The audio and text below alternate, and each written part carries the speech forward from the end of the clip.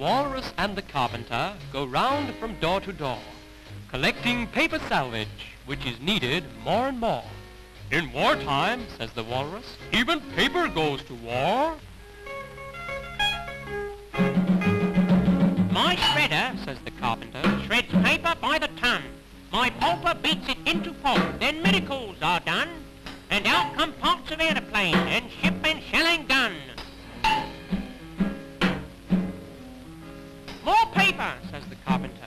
Shredder needs a stack.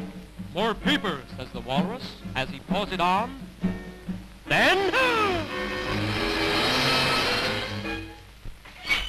Crack! Alas, the carpenter exclaims, the walrus adds, alack! The time has come, the walrus says, to talk up many things, of nails and wood and paper clips and bits of wire and springs and old tin cans and bottle tops and glass and pins and strings.